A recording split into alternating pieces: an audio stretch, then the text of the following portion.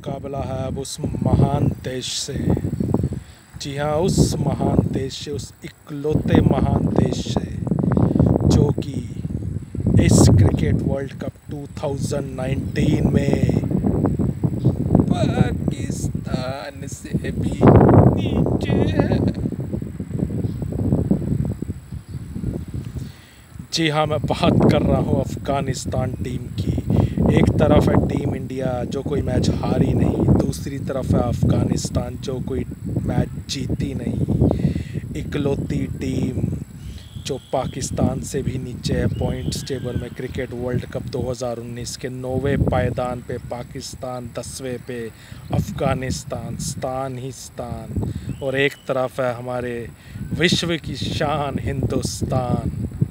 और आप सबकी जान, ब्रांड महान। कुछ ना कुछ बना ही डालता है शायरी, यही तो है ब्रांड की खासियत। दोस्तों, इस मैच की क्या बात करूँ? खोदा पहाड़ निकला, चूहा भी नहीं कह सकता, क्योंकि ये चूहा चूहा ही निकलेगा। वन साइड विक्ट्री होगी टीम इंडिया की, क्योंकि फ़र्क जो है, वो ज़मीन और आसमान का नहीं है भैया। ज़मीन के नीचे होता है पाताल, उस पाताल और आसमान की दूरी तय करनी है। अफ़गानिस्तान को टीम इंडिया के इतने से भी पास आने के। नाखून के बराबर नहीं है वो टीम हिंदुस्तान के।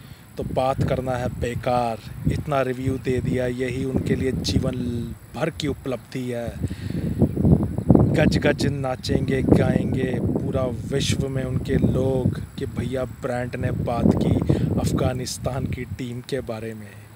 कल लेकर आऊँगा इस वन साइडेड मैच का रिव्यू टीम इंडिया की जीत।